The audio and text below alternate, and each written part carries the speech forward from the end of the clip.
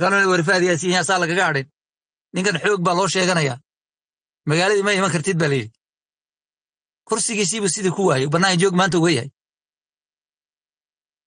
Marka maantana waxaa loo dhiibay ninkii ahaa maxaa la dhihi jiray sambalol somaal sirdoonki sirdoonkaas siduu u ekaan marka baidinku isweydiiya sirdoonka uu ninkaasi mas'uul ka yahay. Ninka reeru hanjabaya ee ciidamadii waagii farmaajo qore laha waa qabiile qabaa'ilka iyo meelahay ka yimideen magacooda kale sheegsheegayey eelaanimaan annaga hayna dhul ma maamuli karo. Eelaha sharcigaan anagu annaga guulaysana oo sharci u samayn shaksiga ku aaminaya naftiisa iyo amnigiisa iyo deegaankiisa waa kee. Anu ma garanaya dee ruuxaasi waa iga aqli badan yahay. Marka waddankan waa la burburiyey. Kooxda meeshaa joogtana ani ilama qumano cidnan aanu kula talin. Ma muqdisho u tagto inay kuwa marti u noqoto. Waddanka ama waa la kala yeelan ama waa la wada yeelanaya. Laakiin koox boqol kilomitr gebigeeduba isku weera degani inay soomaaliya yidhaa waan ku amar ku taaglaynaynaa. Weliba ay dadkii ugu hanjabaan ay ku bahdilaan ani waxay la tahay inay ceeb tahay. Foolxumana allah iga baay fadhi xumana aniga isaga baay. Kolley anigu meeshaas waxaan dhihi lahaa anu ma garanaya haddii aan idinsii kala fogeynayn ninga xasan caynaashi iyo suldaankiiyan hoos bay fadhiyaane bal soo qaado waan idin salaamayaa kolley anu intaa mardi dhihi lahaa soomaaliya waad mahadsan tahay walaalo. Waxaad sheegayso wax badan baa ka jira waa sax oo kugu raacsanaya anigu laakiin haddana at same time waxaa jira marka hadda sidaa wax general looga dhigo waxaa laga yaabaa inay xumaantu sii badato. So markasta waxaa muhiima inaynu ka fikirno inaga laftigeena platformyada aynu ka hadlayno dad badan oo soomaaliyeed oo meel kasta baa ku jira. So waa inaan ka fikirnaa dadka xun reer muqdisho yaanay u arkin in iyagoo muqdisho dhan la rabo ama laga soo horjeedo ama koonfur oo dhan laga soo horjeedo waa inaad u aragtaan dadkayna kala dilaya ee xukunka ka fadhiya. Waxay adig iyo anigaba dhibaato ku yihiin dowladnimadeena iyo wadajirkeena marka in dadku saa u fikiran weyaan marka maad aragti waxaan laga hadlaya waan jeclahay dad kala fikra duwan inay soo qabsadaan insha allah. Maxamed soo qabso. Ayaana waa mahadsan tahay walaalle waa salaamaya dhammaan dadka muslimiinta ah soomaaliyeed meesha ku jiro waxaan ku salaamaya salaanta islaamka. Assalaamu calaykum waraxmatullahi wabarakaatu bacda salaan walaalayaalow anigu waxaan aaminsanahay hortu fikirka rasmiga ah ee muqdisho yaallo waa fikirka naaji weeye. Madaxweyne xasan sheekh maxamuud nin ma aha simbal ah oo meesha iska yimid oo mataqaanaa background wuxuu ka yimid sax ah oo la yaqaano oo mataqaanaa haag ah oo waxa weye wuxuu ka yimid aragtile buu ka yimid. Waxayna aaminsan yihiin tiimka hadda meesha qabsaday. Historical mistake oo hawiya galay in la soxo dib loo soxo bay aaminsan yihiin. Oo muxuu yahay historical mistakegaas waa kii sambalosh uu sheegay oo ah reer baan cayrinay reerka markaan cayrinay waxaan gelinay ilaa iyo kenya cayrsanay reerka way soo laabteen federalism bay noo dejiyeen.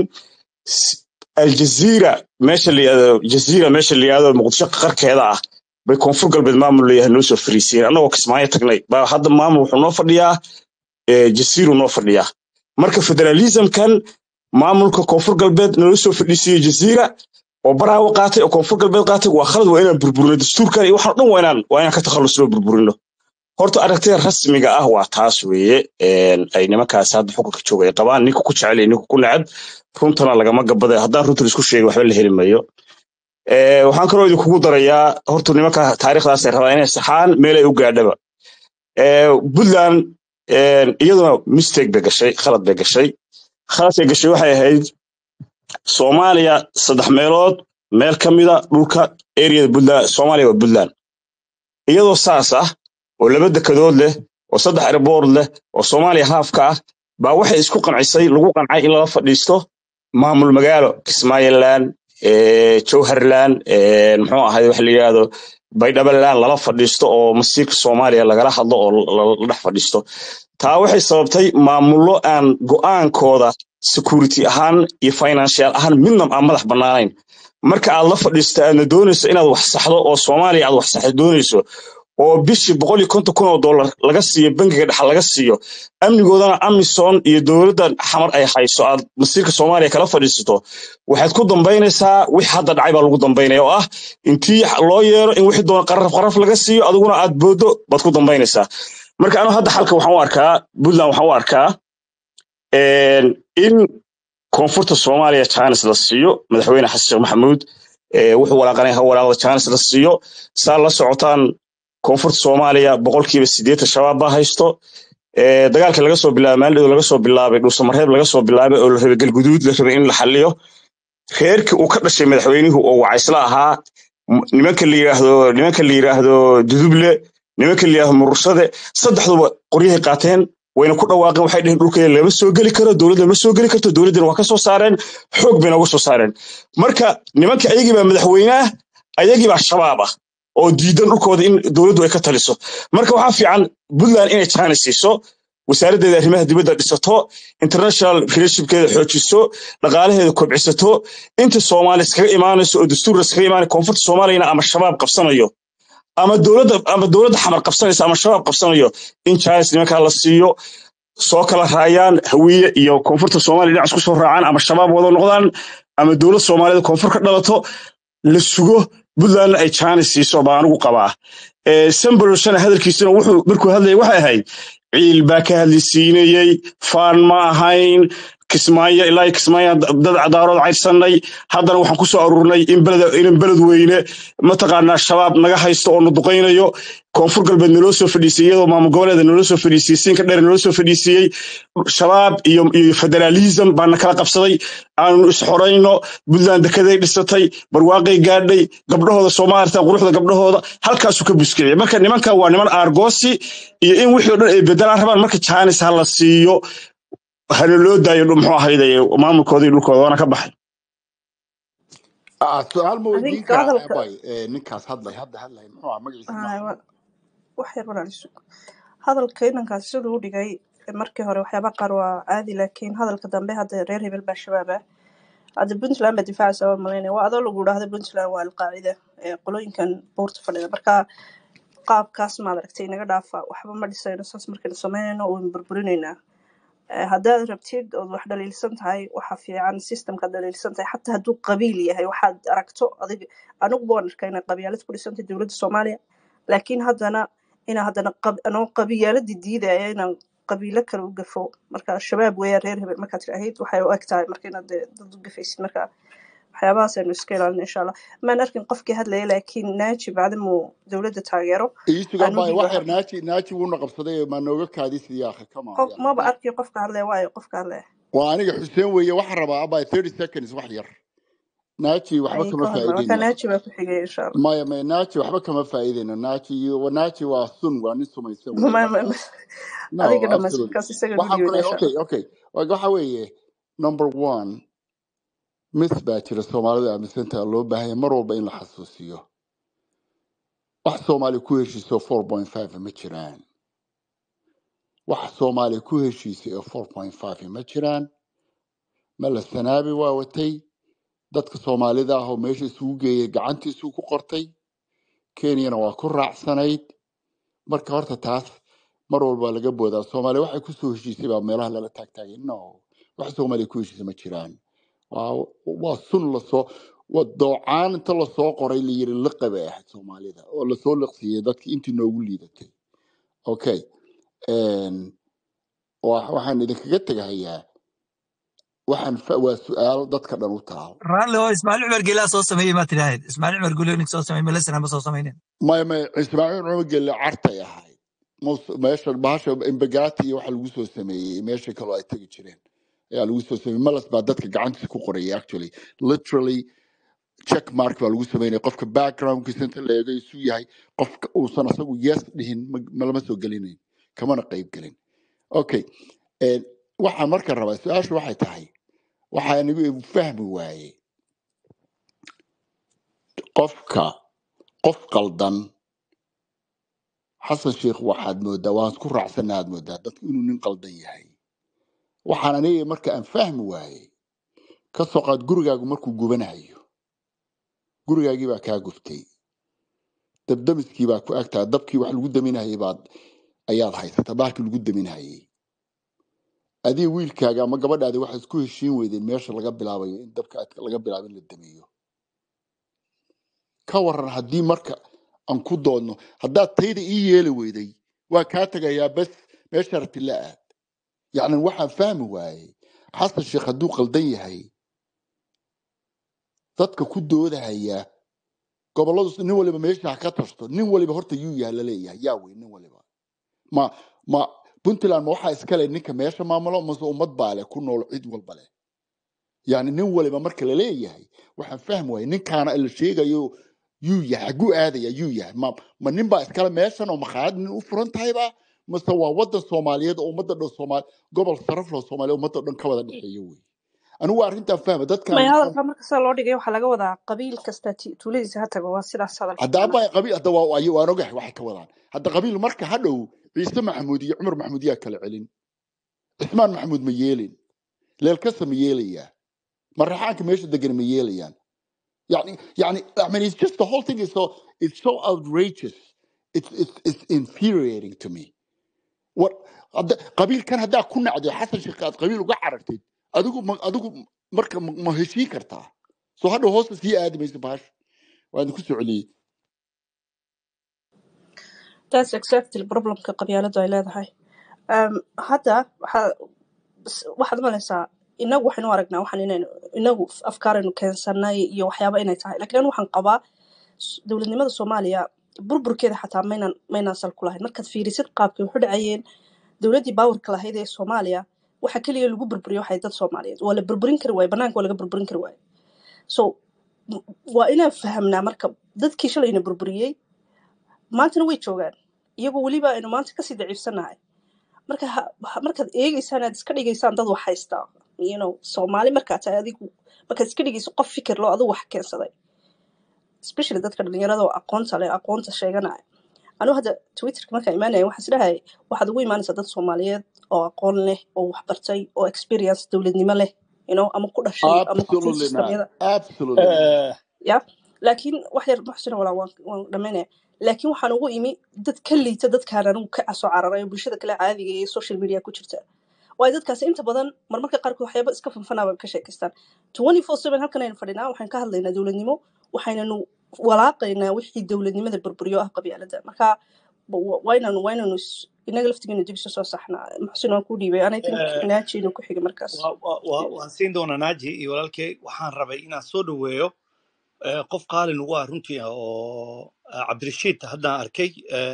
Waan soo dukanaya waa idinka maqanahay cabdirashiid waxaa waaye inaad taqaanaan in kale ma aqaani. Marna nomadic voice baan ku soo casuumay. Wuxuu ka mid ahay qofkii soomaaliyeed u nasiib yeeshay ama ama aqoontiis ay gaarsiisay inuu ka mid noqdo dadkii qoray dastuurka kenya ama dastuurkii dib loogu laabtay oo dib maaragtay u soo saxeen oo intaasoo muddo ay geliyeen waa qofkii keliya ah oo soomaaliyeed oo yacni ka mid ahay dadkii sagaasha ahay mise toddobadii isagaa ii saxi doone uu ka mid ahay guddigii loo saaray oo runtii dastuurkaas qoray. Eh, iyo ninkii aad ogeedeen maalin dhoweedaan keenaynay dr akuro ukuro eh, wuxuu ahaayey isagana ka mid buu ahaay laakiin cabdirashiid meeshuu gaaray. Runtii eh, qof soomaaliyeed oo gaaray ilaa al'aana in east africa eastern central africa maysan jirin. Waa nin maasha allah ilaahay aqoontiis siiyey. Uu nagu caawiyey maalin dhoweed qaabkii aan ugu bixi karno dhibaatadan isqaqabsigan dastuurkan la isku haysto soomaaliyeed sidii loogu bixi karo. Bal waxaan fursadan qaaliga ah ayaan ka faa'iidaysanaya aan ku soo dhaweynaya cabdirashiid. Walaalkay. Uh, thank you, thank you, uh, Marcin. Uh, sidaad. Aniga keli waxaan ku darsan lahaa horta Soomaalida until and unless they open up to each other, unless they are honest to each other, maaragta wax suurageli karo ma leh. Saa taariikhda u xasuustiin burburkii Soomaaliya Soomaaliya maxaa burburisay? Hadda gabadhii ayaan u sheegtaybo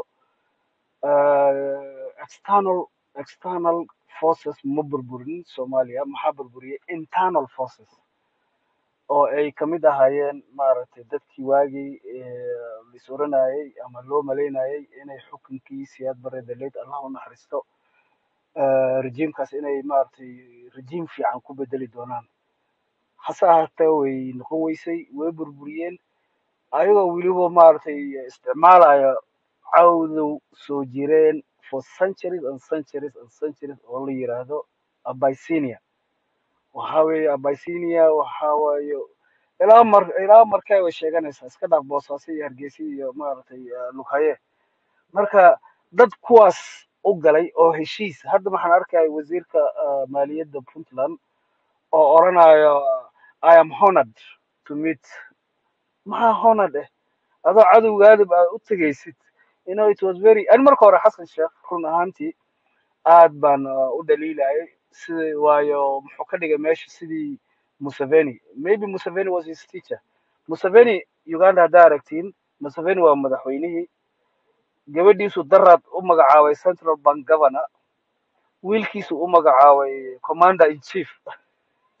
Commander in chief of the army ayuu u magacaabay. Eh, xaaskiisu minister for education waa museveni. The whole uganda government muxuu ka dhigay family enterprise. Xasan sheekhna maxaan ku dhaliilayay jidkii museveni inuu qaadayo because qarannimada is not a family business. Qarannimada maxaa weeye qof walbo from looya caddo ilaa ras cambioni ilaa maaragtay eh, ras caseer iyo maaragtay bandar qasim ilaa maaragtay eh, bohol ilaa maaragtay xuduudka ceelberde I'm naming all those.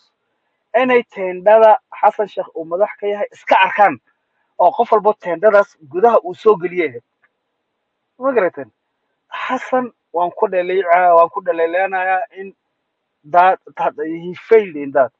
But that does not give a reason to musabixi to deni inay aadaan cadowgoodii soo jireenka ahaa it's not. Marka maxaa weeye statementkan ku bilaabo maxay ahayd let's be honest with one another. Let the somalis open up to each other waayo nin amxaar hadduu nii kala subhumans. Maanta ko dadka ifologarinayay tweet baan soo geliyay gabar soomaaliyeed oo dhehayso from looyacaddo ilaa hawsungu ay qarannimada soomaaliya iyo dalkooda ay maaragtay ay ay-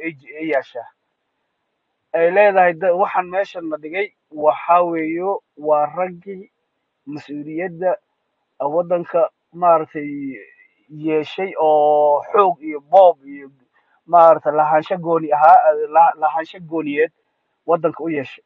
Marka I'm very sorry. Maxaa weeyo leadership ah, ayaa aad iyo aad waddankii ah, maaragtay dhibkan oo dhan u keenay. Maxaan hubaa?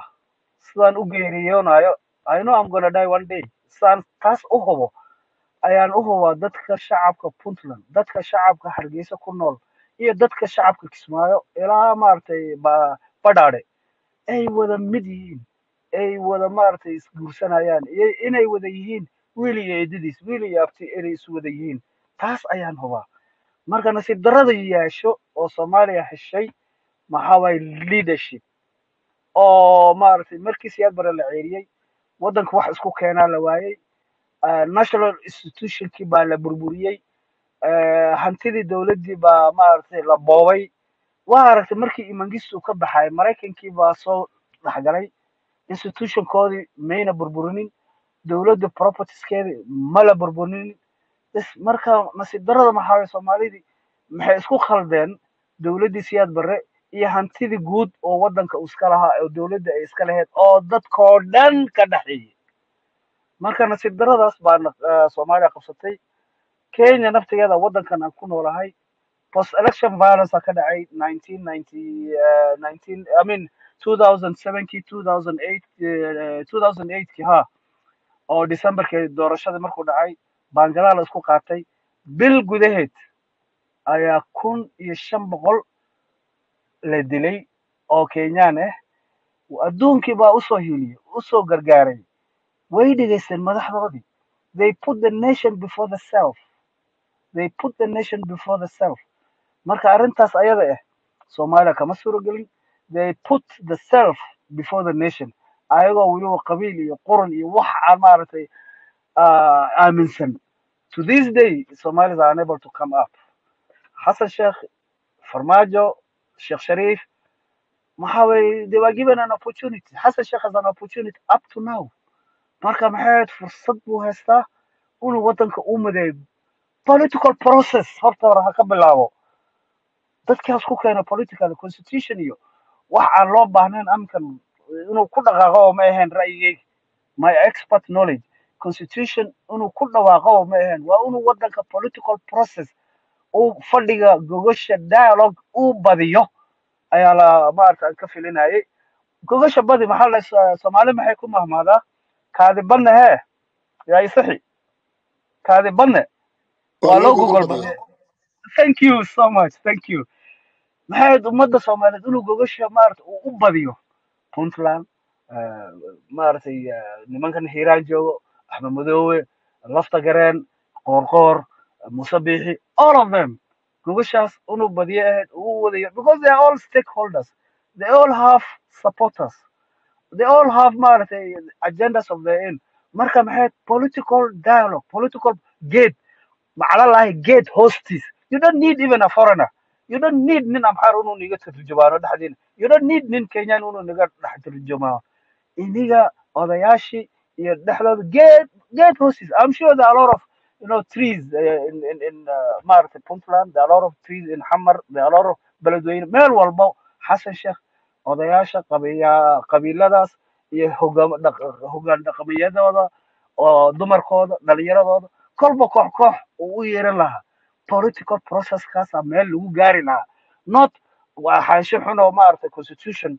Oo adigana aad naftigaada aad ku dhaq ku dhaqmi karin ku ku dhaqmi karin ama aada fulin karin you cannot even implement it beyond beyond I don't afgoye.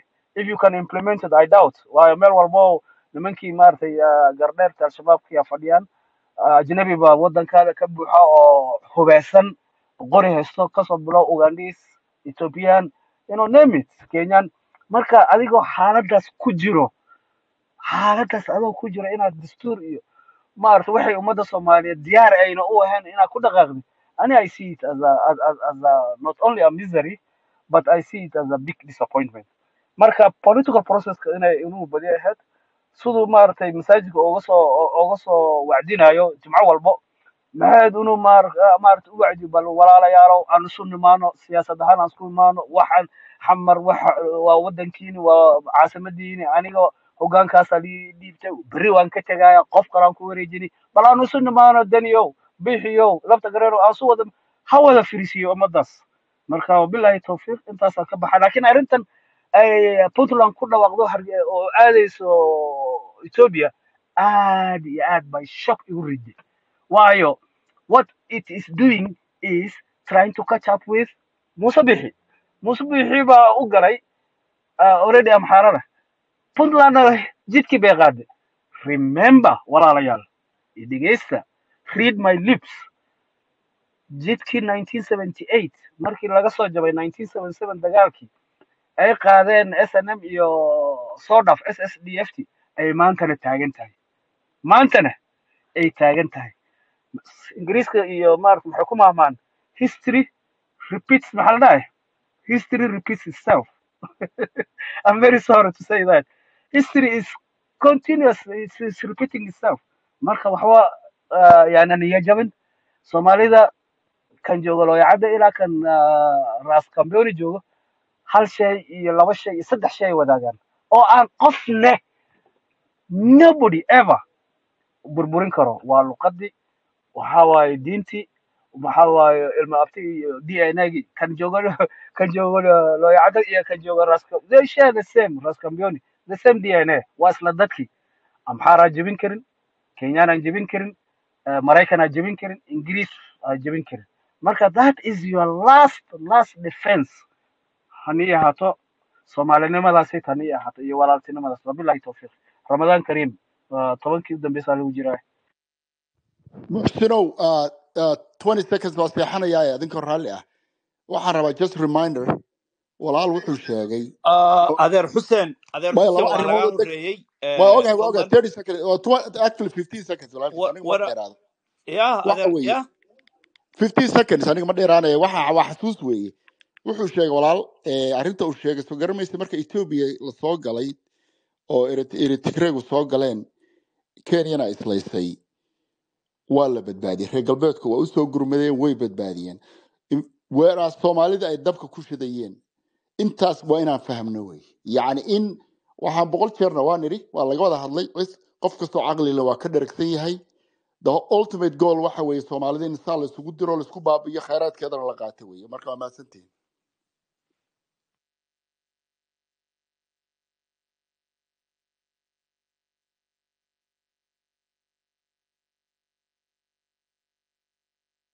maxsin ma joogtid miya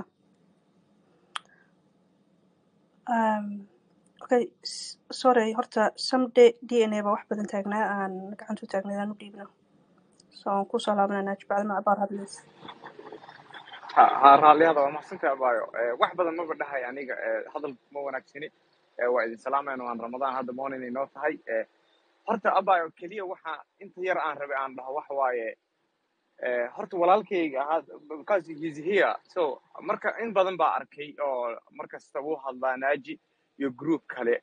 So they always act naaji iyo group kale oo asigaa saxaabtiisa ah. Sidii inay ay yihiin maamul oo yacni eh, maamul ahaan for example maamulka koonfur galbeed camal yani qabiil qaab qabiileed buu u dhisan yahay ama maamulka puntland qaab qabiileed buu u dhisan yahay. Ayagoo dowladdii matalaya oo shahaado dowladeed matalaya bay always mataqaana waxay empower gareeyaan inay qabyaaladda aad u faafiyaan oo ka dhigaan siyaasadooda mid qabyaaladaysan inay ka dhigaan. Waxaan dareemayaa aniga waa shaksiyadeeda siday la tahay oo naaji dee asaa hadda jooga mogta cabdi waan dhihi karaa.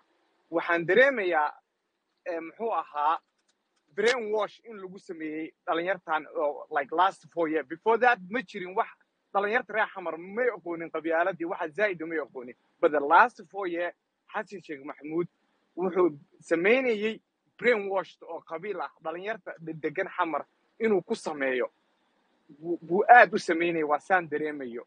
So dhalinyartii buu social media ku soo fasaxay. So mar kastay hadlaan ayagoo shahaadadii dowladda wato bay haddana qabiil isticmaalayaan oo dadkii bay kala fogeynayaan. Taana mid wanaagsan ma ahan. Wax yani haddaad doontid haddaad doontiin idinkoo matalaya hirshabeelle ama galmudug yeah come join the group. yani dadka la challenge. garee idinkoo qabiilkiina isticmaalaya but idinkoo central dowladnimadii isticmaalaya shahaadadeeda wata iska daaya qabiilkan aad empower garaynaysaan dadka aad ku kala dilaysaan aad superior dadka aad tusaysaan dadkii aad kala uqdadaynaysaan dadkii aad liidaysaan oo aad ka dhigaysaan dadkii wax ma jiro dadki for example maanta hadda ani puntland kama soo jeeda koonfur galbeedaan ka soo jeeda tusaale ka soo qaad laakiin puntland way puntland ay u dareemaysaa carada iyo or orodka. Way u dareemaysaa central dowladdii ba waxay ula dhaqmaysaa muxuu ahaa sida inay maamul goboleed ayada la mid eh, la mid tahay ay tahay.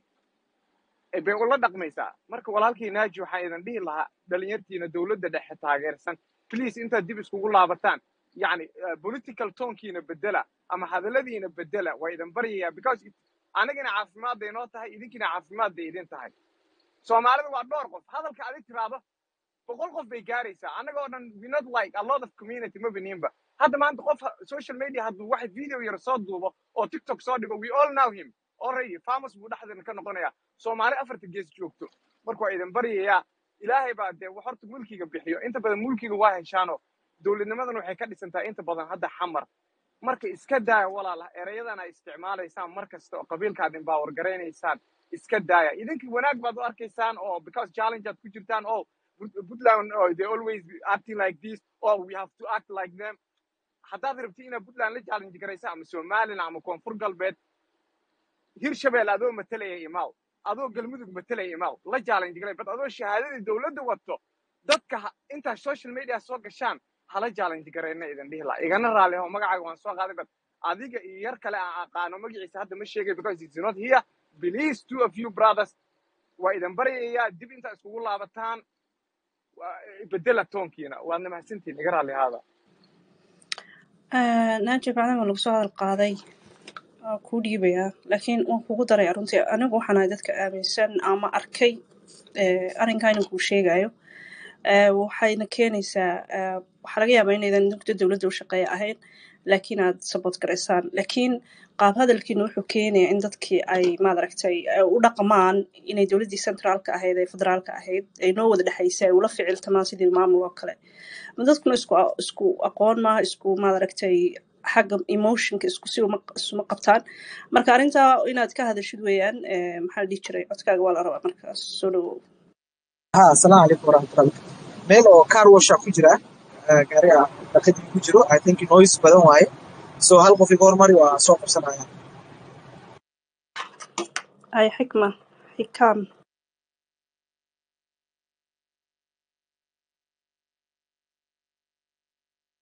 xikam ma joogtaa ama umeer shere qofkas kale labada qof gacanta isku ilaaway maan malaynaya Eh, gacantaad soo qabsatay waqtigaad haysaa waa malaynaya hadda. Soo qabso maya waa joogaa waa waa yaro mashquulsanaa walaale waa mahadsan tahay. Anigu wax kale runtii hadda waxa weeye waa rabay inaan hadlo.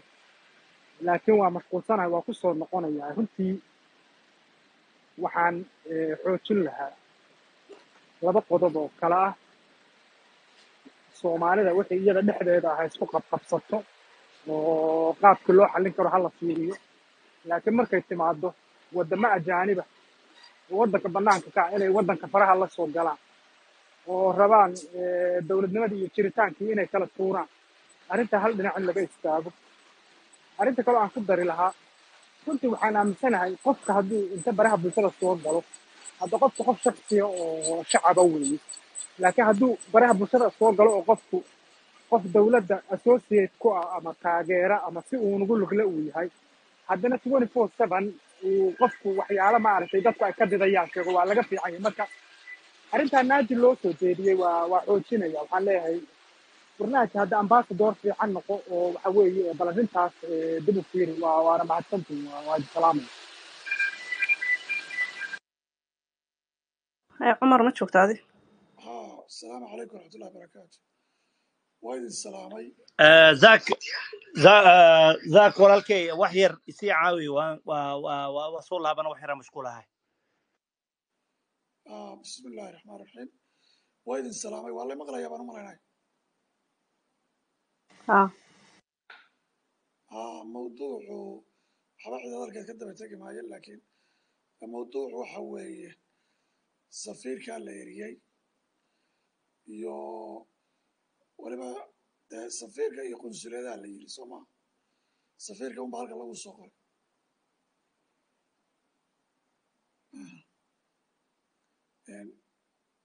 Haba ahaadeen ama labadaba ama midba ahaadeen. Laakiin waxa weeye oo isweydiin waxan in la isweydiiyo. Safiirka ereyskiisu dee babalihii maxaa loo eriyey? Laakiin sababta loogu beegay heshiiska haddii horey aan loo eriyin dee markii maamulkii kale oo waqooyigu ay dhul bad ka gadeen oo dhul ka gadeen oo bays ciidan u ballan qaadeen lama eriyin muddo waxaa lalahaa dowladda maa la eriyo safiirka maxaa loo haystaa? Maa la yeelo saan maa kan la yeelo. Haddii puntland ay gashay heshiis meel containers iyo ganacsi marayaan iyo ilaalinta meesha ilaalinta amnigeeda halka borderka haddii heshiiskaa la galay iyo wid waxbarasho oo dee madaxweynihii hore isaguba xataa ballan qaaday oo yiri dhulkayaga lamana iibin karo lamana magciisin karo. Laakiin waxaanu idin siinaynaa ganacsina waa idinla yeelanaynaa Eh, maxaan ku idhaha dekedii waa isticmaali kadhaan oo isagu dee hadalka uu yidhaahdo qofku markuu mansuulka hayo ay hadalku tahay dee wax official ah uu yahay. Innagana ay awal uba joogeen iyagoo intaasu dhacay. Maxaa waktigaa loogu beegay? Tan isweydiinta leh taa weeye tan anigu kollay dee aanu arko wax siyaada ah. Taas weeye. Ilay tan dhul lagama gadin bad lagama gadin bays lama siin. Yah. Dekeddaa markii la dhisayay dee dabcan ama garaacad wax kale looma dhisin. In halkaa wuxu maraan dadkaas consumers noo noqdaan waddada waddada wadaagsan la dhiso dhankan nala dhiso iyaguna xaggaas soo dhisaan tuurdebi ilaa halkaana ganacsi aynu kala yeelanno. Sooma garan? Markii waddadaa in la dhiso la hagaajo weliba dhankeenna bangiga afrikaanka uu african bank uu fanka bixiyey iyo hay'ad kale oo lacagta xamar lagu hayay oo la xanibay oo dee madaxweynihii hore mudane xasan sheekh uu markii kaale dekadda fur la yiri uu yidhi haddaan fasaxay oo waddadii waa la dhisaya gadaal la ka joojiyey yah haddii dee dhulkan cunaqabatayn mashaariic ka istaajin ballanqaad oo dhan diid dastuurkii bedel shahaada diid maxaan ku idhaahdaa see wuxu jiraan yah east africaba laynagu daray waana east africa iyadu oo east africa oo dhan ayaa ganacsi iyo laysu furay intaasoo dal kuwaynan xuduudu lahayn tanoo dastuurku noo ogol yahay yah oo dastuurka puntland iyo kan kaleba noo ogol yahay maxaa keenay in carada intaa leeg innagu malihin maan la daayo. Oo horey wax maaba la saaraanu lahaynba. Laakiin waxayna tusaysaa ujeedka weyn cidda lala dagaalamayo.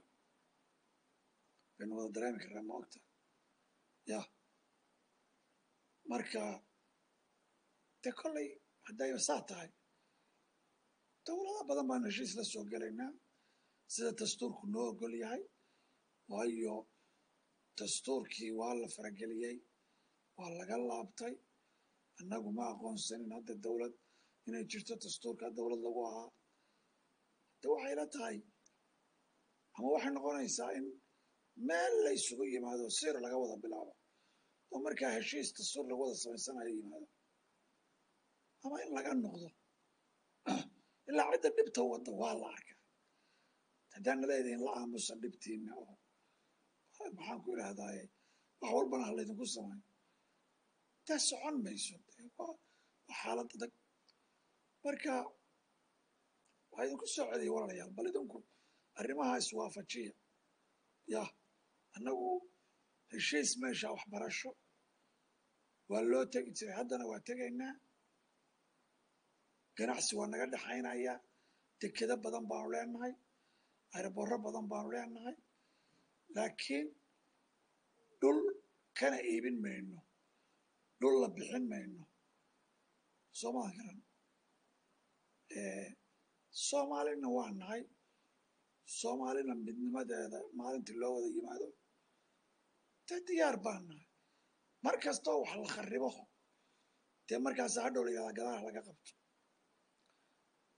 marka bal idinku iswaafajiya oo intiinaana wax isweydiiya oo maxaa safiirka dee markii dembi weyn oo oo maxaan ku idhaahdaaye dhul soomaaliyeed la bixiyo ama la gado loo eryi waayo hadda heshiis ganacsi waynu dowlado badan la gallay oo east africa ay ka mid tahay maxaa keenaya bal jawaabtaa iga bixiya cidda sabooday dowladdii ah maaragtay hore oo xasan sheekh madaxweynaha ka ahaa waa idinku soo celiyo raallina ahaada qof madan li gaara laakiin waxaan ka hadlayaa wixii naga wada dhexaya iyo qof walba marka bal taageerayaasha iyo ciddii ka jirta halkaas marka waa idin soo celiya walaale waana ku mahadsantihin jaaniska ay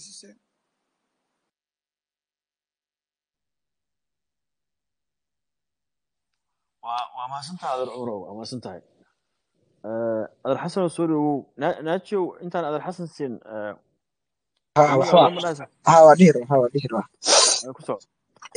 su'aalihii la weydiiyey waa ka jawaabi rabaa cumarna dhowr erayaan dhihi rabaa. Horta kow naaji dowlad uma shaqeeyo. Aron represented meeshan magac wadani iyo magac hebel ma watee mojigeyga iyo magacaygaan wataa waxa ani halkan ka sheegay naftaydan ku matalaa ayadaasaan wakiil oga ah. Marna laakiin mid waa mido dowladdu waa taageeraa dembina maaha in dowladdu la taageero. Adigu waa taageeri kartaa muwaadin baa tahay. Adigaba waa taageeri kartaa muwaadin baa tahay. Qasab ma ahan aragtidaada inaan intaa yeesho. Dowladdu adiga aniga aniga shakhsiyan hadda haddii la weydiiyo maanta dowladnimada soomaaliya sidee u aragtaa ani waxaa arkaa dowlad soomaaliyeed oo soo xoogeysanayso dalkeenu inuu fiican yahay dalkeenu inuu meel fiican marayo dalkeenu inuu maanta shalay dhaamo. Aan arkaa.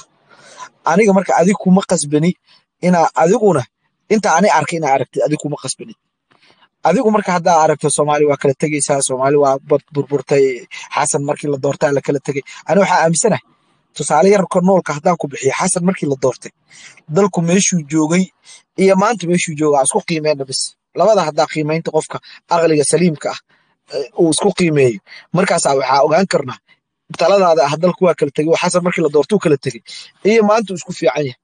Dalku dowladda dhexe iyo wada waxaa lahaa eh, maalinka xasan loo dhiibayay aqa- eh, baarlamaanka federaalka oo ninkii maxamed mursi joogay iyo saddex maamul goboleed oo gacan ku ramis ahaa.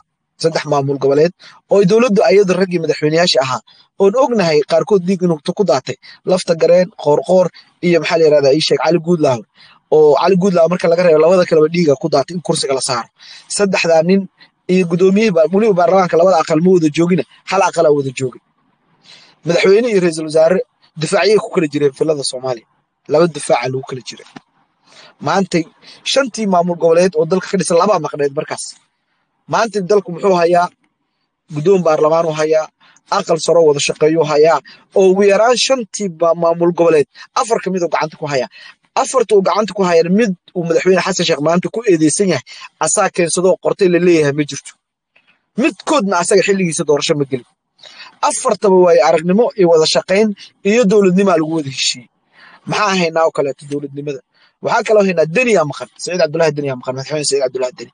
Asaguna wuxuu ku maqan yahay. Adiguna waa ogta anna waa ogahay wuxuu maxaa cabdi saciid cabdulahi deni ku maqan yahay. Ma wax dowlad dhisuu ku maqan yahay? Ma wax dadka reer puntland wax ugu maqan yahay? Ma wuxuu ugu maqan yahay wax dana shakhsi ah? Haddaad adigu qalbigaaga waxa kale ka saarto saciid cabdulahi deni inuu dowlad soomaaliya dhiso oo kuma maqno. Dana ashkaas ah uu ku maqan yahay. Adiguna waa qiri kartaayo qof kastoo soomaaliya waa qiri karaa. Marka dalkii marka ma madaxweyne xasan sheekh markuu yimaado burburay mase dalkii waa soo qabsado waa soo aruurnay. Dalkii shalay markay noqoto dhanka amniga markay noqoto magaalada waa alxamdulilah muqdisho bas ma dheheno dalka amnigiisu kor ma u koray. Maanta ciidamada iyadu shalay daljirka dahsoon iyo eeriyadan joogay maanta madaxdeenu xardheere iyo ceeldheeray joogaan. Ciidamadii waxaa ka hadlaynaa meesha awalka horeto. Magaalada muqdisho furmeeda ka hadlayna. Shabeelow iyo caad iyo meelooyin soddonka sano dowladda ay maqneed ayna weligan maqlin. Waxaa hubaa dadka qolkan jooga odayaasha marka laga reebo. Inteena badan magacyadan caad iyo shabeelow iyo waxaan la leeyahay inayda weligin maqal maanta marka ma ka fiicannaha mise ka qurux badan. Ani marka taasaa arkaa kuma qasbani marka burburka iyo ishaysadka iyo siyaasadda. Saaxiibkayga ninkii dastuurka oo kenya wax ka sameeye waxaan leeyahay soomaaliya in la wada hadlo laba iyo toban sano dastuurkeenu wada hadal ku wadnaa. Hadal hadduu wax ku ridhinayo laba iyo toban sano dastuurkaas xunka ah xunka ayaan dhihine oo asaga dhan bo- boqolka beej ka yar laba iyo toban sana isku daba fadhinaa. Anaa eri anaa dhaqaaqay anaa diida anaa yeelay maanta haddii intii la gartay soomaaliya baarlamaankeeda la dhex geeyey doodaa ogeyd weliba waxaa ognahay dowladda soomaaliya inay dooda ay qabtay madaxweynaha iyo ra'iisul wasaaraha publicly ka sheegeen masaajidada jimcaha. Iyo da- hadafka ay dastuurka kala hayeen afar qodob cutubyo badan uu leeyahay afartii qodobta xitaa ay dowladdu keentay. Hadafka iyo dantay ka lahayd dowladdu waa sheegtay iyo qodobada siday u rabtay madaxweynehena nagalama gamban visionkiisa waa noo sheegay. Waxa la ansixiyey visionkiisi miya madaxweyne madaxweyne ku-xigeenoo madaxweynaha rabay. Maanta madaxweyne madaxweyne ku-xigeen maa la ansixiyey. Sad laba xisbiyo dalkeenu madaxweynaha rabay. Maanta laba xisbi miyaa la ansixiyey. Baarlamaankii dood- doodii baarlamaanka konton iyo labada xildhibaan ee dooda ka dhiibatay ayaa doodooda la qaatay. Waxaa ka mid a xildhibaan hadda waxaa ka mid a oo waagi golaha mucaaradka oo aniga afkayga kula hadlay wallah xildhibaan nabana cad waxaa iri niyahowday waagi hore telefoonka ku- waa wacay waa ninaas naqaan. Waa wax ku yiri een, habeenkii mucaarada ahayd ninkii dowladda mucaarad ku ahaa ahayd. Maalinkii dambe gacmaha la taagayana gacmaha taagatay. Sidee wax u jiraan? Wuxuu dhahay dee anagu dowladda mucaarad kuma hayna aragtiyaan qabna dastuurkan. Waxaa ka soo horjeednay oo doodayna baarlamaanka ka dhiibanay. Weliba xildhibaan nabad waa dadkii yiri madaxweyne ku-xigeen hala weydiiyo. Ninkii go-awdal ninkan somaliland ka soo jeedo iyo ninka somaliland ka soo jeedo ninka puntland ka soo jeedo fadhiisa la lahaa. Waxaa dalka uma rabno. Doodeen haddii la qaato dalka ra'iisul wasaarihii loo daayay falil alxamdu in ra'iisul wasaaraha awoodiisa la dhiman waxay ka timaada sheekh shariif ay ka timaada waa public dumankay ku jirtaa. Marka adigu okay hal qolaa marka diidan dastuurka intii kale waa yeesha hal qolaa diidan. Puntlandaa diidan oo dhaha dastuurka waa ka tallaabsanay okay tusaale yar aa idin siiyo. Puntland ma dastuurka basay ka booday mase dowlad dhiska mase dowlad dhiska soomaaliyeed ka diidanta puntland waxay caqabad ku ahayd. Been waa ay dhihi kartaan wax waa ay dhihi kartaan inaa naaji adaa sameeyey dowlad. Waa dhihi kartaan puntland publicly wasiiradeeda twitterkaanay la taagnaayeen bannaankay la taagnaayeen inaan deynta soomaaliya la cafinin. Waxay u sababeynayeen sabab waxay ka dhigeen deynta soomaaliya haddii la cafiyo qabiilaad gooni ah lacag yeelanayo lacag xad dhaaf ah soomaaliya la soo qaadaa waa dalka waa burburahaya deynta almost lix bilood shan bilood ka hore la cafiyey almost afartii bishi afraada lagu jiraayo wax dhiba miyaa ujeednaa soo lama cafin wax dalkeenu u soo kordhamaya hubka cunaqabataynta hubka la qaadayo puntland wasiiradeeda halkaanay la taagnayna soomaaliya cunaqabataynta laga qaadin. Ma wax hadda bilowdaya waa may. Xitaa waxay gaartay puntland. It's not about naaji inuu samaynayo xitaa madaxda puntland twitteradan wasiirkeeda afhayeenka afhayeenka dowladda puntland wasiirka warfaafinta puntland twitterkan intuu yimaado dagaalka al-shabaab ka soo horjeeda deegaanadan maanta dowladdu joogto maalmihii la tegayay wasiirkeeda halkaanuu ka diidanaa okay dastuurka marka ma- puntland ma dastuurka basay ka booday oo waagi hore dowlad dhiska waa la socoto mase dowlad dhiska soomaaliya intaas achievement dowladda gaartay ayay puntland caqabad ku ahayd. Haddaa su'aashaas laga jawaaba la waxaan ku soo gabagabaynaa marka waxaan ku soo gabagabaynaa waa sax hadalladeeda waa hash Eh, dadku inta badanna waxaa laga yaabaa inay opposite side ka arkaan qofka aanan igu taageerada ahayn inuu hadalladeeda hash u arko. Laakiin runta hash maaha. Inta aan sheegay idheh waa been puntland cunaqabateen hub kama soo horjeedin kan kama soo horjeedin inta aan sheegay waa been idheh markaa kabacdi doodaan geli kara waxaan ku soo gabagabaynaa marka. Adeerkay cumar wuxuu dhahay maantii oo puntland ay tallaabada qaaday miyaa safiirka la raacdeynaa maxaa intaasoo steps loo raacdeyn waayey horta waxa lala macaamilhaya somalilandna ma ahan dowladda soomaaliya waxay la macaamilaysa somalilandna ma ahan puntlandna ma ahan. Dowladda etoobiya marka ay step qaaday oo ay dalkeena ku soo xadgudubtay oo halkaas gaarsiisay dowladdeena waarin ay bixisay waxay tiri father escalation ha gelin. Halkaas arrinta ha lagu ekaayo. Baarlamaanka la shiri wixii heshiiskay soo gashayna dowladdu waa diiday laakiin waxaa markaas wada hadallaa socday waxaa laisla afgartay inaan intaa ka badan father more aan la gaarsiin. Dowladda etoobiya ayadaa dooratay inay mar kale dowladda soomaaliya undermine garayso. Waxay u yeertay maamul goboleed wasaaradda arrimaha dibadda etoobiya maamul goboleed u yeertay ayagoo xitaa nimanka meesha fadhiyay calan ma watin. Calankii puntland ma wadan waxba ma wadan. Waa wasiirro waa ahayn qofka hadduu ku xushmaynayo calankii soomaaliya maxay u wadan ilaa calanka etoobiya meesha waa yaalay. Calanka soomaaliya maxaa arki weyse? Haddii xushmad etoobiya ku hayso. Ayadaa marka waxa loo jawaabay marka puntlandaa tallaabo qaaday ama galmudugaa tallaabo qaada maahana waxa loo jawaabay waa the second step ay dowladda etoobiya qaadatay. Hadday one more step haddana qaadato other options aa furane hadday hadda maanta galmudug intay baxdo puntland ay u tagto etoobiya oo ayaduna heshiis gasho galmudug lama hadlaayo steps kale oo dowladnimada ah aa la qaadaya etoobiya ciidamadeeda dalka laga saaraya. Marka ma puntland galmudug ma dhihi kartee ciidamada maxaa dalka looga saaray? Annaga markii puntland taa samaysay ciidan dalka lagama saarin. Is not excuse. Waxaan ku gabagabeynaya marka marka dalkeenu insha allah tacaala waa wanaagsanaanayaa hadalladan ad adag iyo waxana waa dhammaan doonaan dadka reer muqdisho lagu celceliyo. Shalay markay farmaajo ii geeye lahaayeen oo farmaajo bannaanka u soo baxayeen ilaa jawhar iyo balcad dadku ka soo lugeeyeen wadiniyiin bay idiin ahaayeen.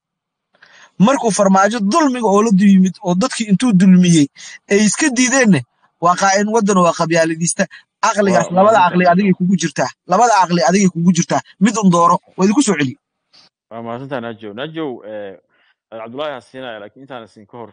Niyahow farmaajo eh, markii xasan sheikh waddankan loo dhiibayey horta hal dastuuruu lahaa. Eh, oo waddan kala qaybsan ma ahayn sida maanta uu kala qaybsan yahay. Number one number two qabyaaladdu maanta meesha ay marayso waddankeena iyo sida dadkeena u kala qaybsan yahay soomaali uma kala qaybsanayn. Axmedow baa dhahay oo ma- madaxweyne maamul goboleed ah.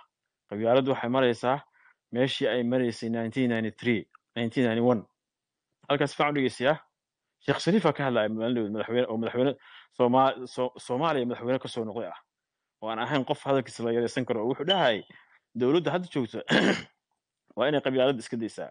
Waxyaabahan qabyaaladda lagu duulinayo ama qabyaaladda la rabo in dadka lagu kiciyo ha iska daayo dhahay.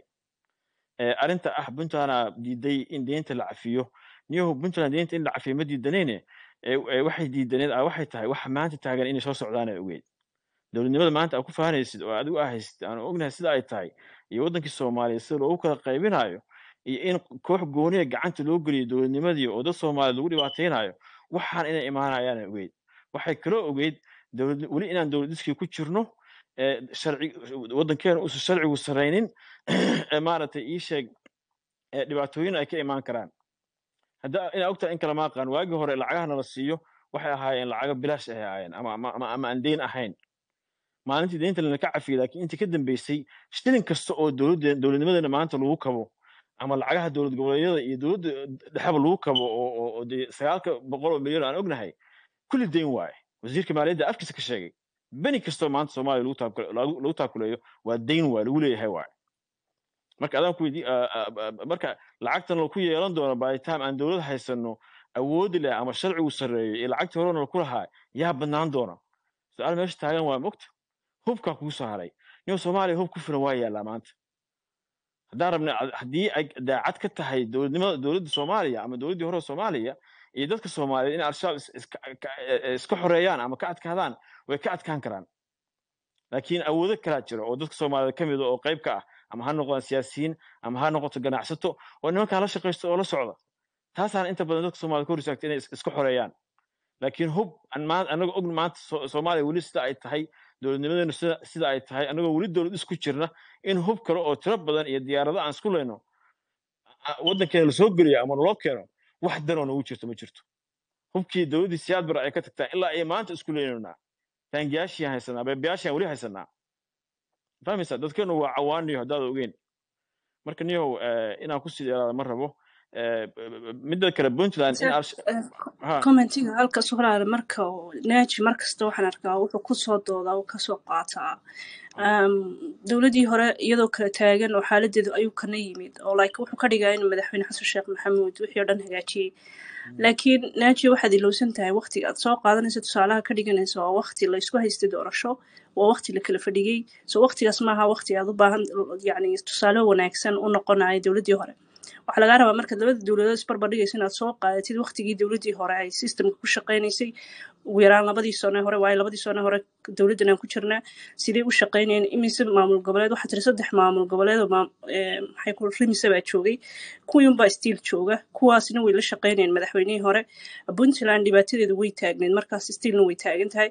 So ma arkaan walkaas waxa aad maad aragtay uga dhigto guul labadii madaxweynaha. sano hore soo weerarada soota maamul goboleedyada la weeraray labada sano hore oo teramka dowladda hore. maamul- maamuladu way la socdeen ee, lama socon. maxaa dhaca shariif soota waa la la waa- socon waa socdeen mahadsanta waa mahadsanta najo waa mahadsanta niyo midda kale a- a- ereyga ah maaragtay puntland ka soo horjeeda in al-shabaab lala dagaalamo. Niyo puntland istaraatiijiyadeeda uu madaxweynuhu ama qaabka uu dagaalka u wajahay bay diidaneed ma ahane? Eh, puntland ma diidaneen in al-shabaab lala dagaalamo iyadaa maalin walba la dagaalantay iyadaa dhulkeeda ka xoreysay iyadoo dhulkeeda amni yahay. Eh, wixii ay diidaneen inay sax wasiirka warfaafinta saas ma dhihin. Wasiirka warfaafinta saas ma dhihin. Firi ukaada ku dhegeysana walaalkay dhegeyso. Firi wixii ay dhaliishii markaas ay hayeen inay sax tahay maantaan dee haynaa ma og tahay? Miro dhalkeeda haynaa ma ogta iyo in maaragtay ciidamadii soo- soomaaliyeed ama ciidamadii dowladdii hore ay ka tagtay seventy percentage ama eighty percentage hubkoodana la qaatay iyagina la laayay ilaa haddeerna weerarkii lagu haayo. Marka waa adeer cabdullaahi aan siinaa cabdullaahi soo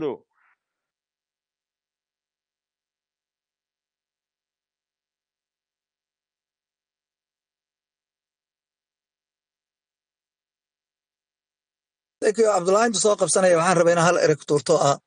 Maamuladanu hadda naaji ku faanayo axmed madoobe oo kale saddex sano afar sano ka hor buu xilkii ka dhammaaday nin xilkii ka dhammaaday oo dadkiisii wuxuu haya lahayn oo gabay oo meel gasiirad oo cidla ah fadhiya oo shakhsi ah oo keligii iswada in maanta lagu faano.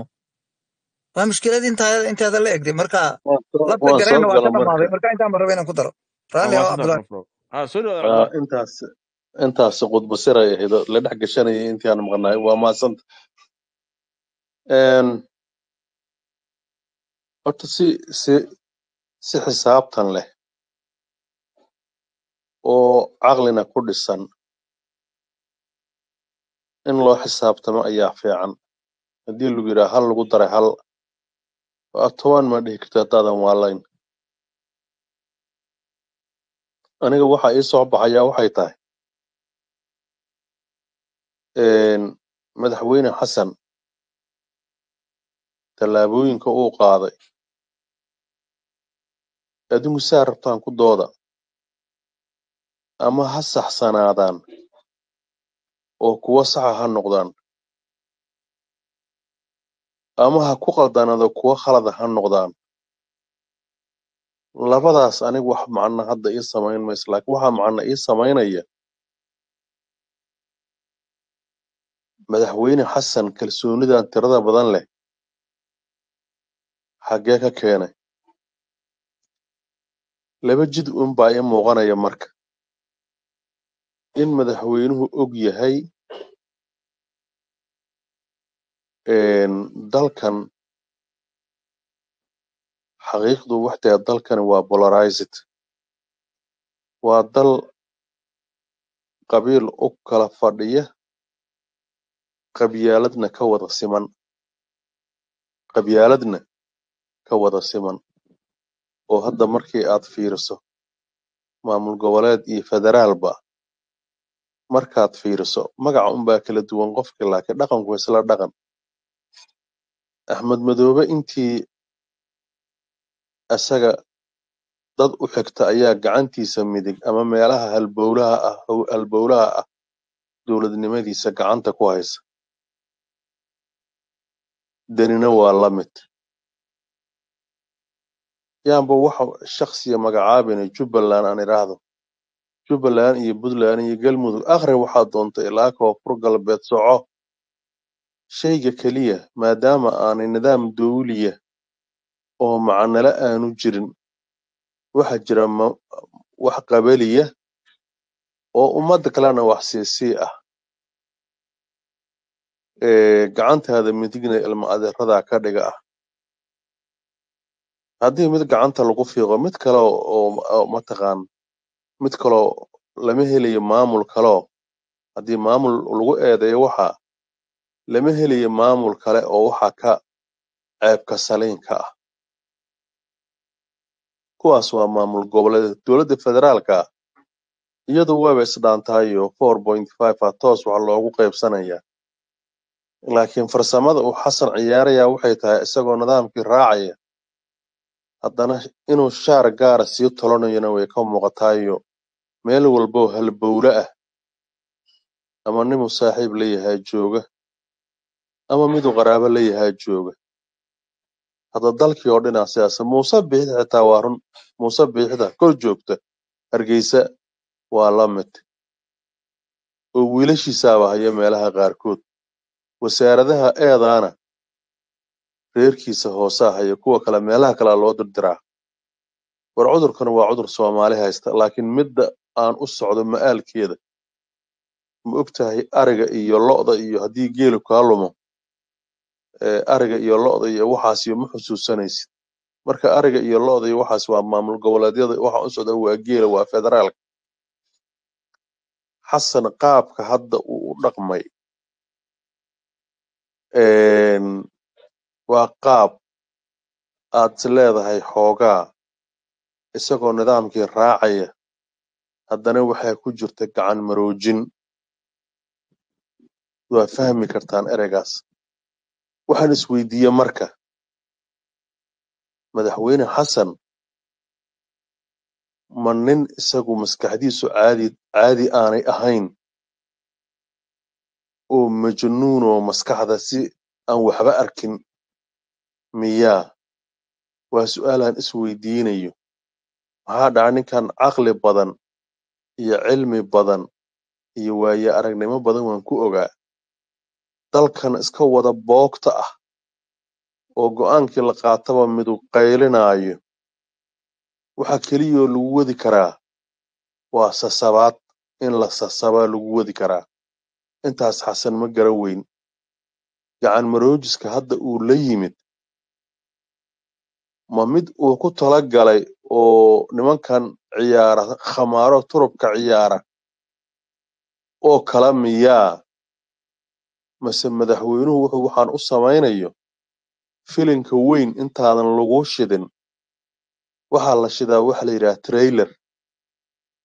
Ama dadkan koonfurta soomaalida oo af talyaaniga ee yaqaanana waxay yidhaahdaan boorsamiinto marka hadda waxaa noo muuqda trailerka iyo boorsamiintadu ma awood aan la arag oo cusub oo soomaaliya aysan lahayn ayuu madaxweyne xasan wax oo meel ku og yahay.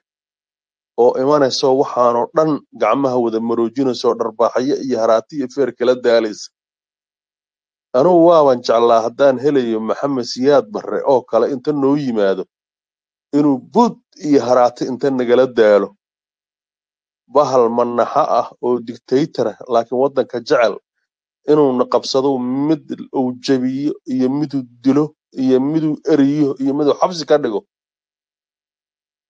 Haddaan heli lahayn maanta qaranka iyo dowladnimada iyo soomaalinimada noo badbaadi lahayd xasan ma waxaasuu soo wadaaho awood aan la ogeyn miyuu meel ku ogya war hashu maankayga gadda gashaya ma bay laqday waa ka baxa. Cabdil cabdilaahi waa mahadsan tahay. Waxaan siinayaa cabdil cumar shaas cabdil cumar shaas soo dhow. Andan waxaan ku xijinayaa shakuur insha allah andan xamdaan